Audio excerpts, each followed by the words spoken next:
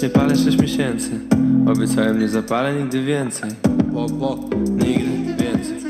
I chyba się to uda mimo, że tu bal